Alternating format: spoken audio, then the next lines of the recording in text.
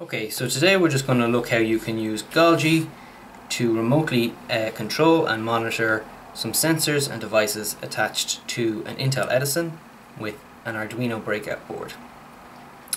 So you can see here on the left hand side we have the mobile application, on the right hand side we have the Edison and breakout board and we have attached to that a motion sensor, a touch sensor, an LED a temperature sensor and a potentiometer.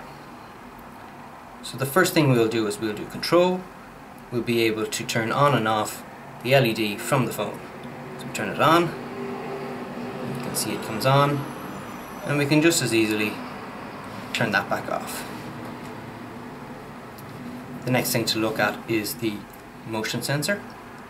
So we can activate it placing our hands in front of it, and then when we remove it you'll see that the mobile application is off again.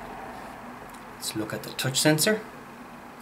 Touch it, the reading changes, release it, it changes back. And then finally we'll look at the potentiometer. You'll see as we wind the potentiometer, the dial will change.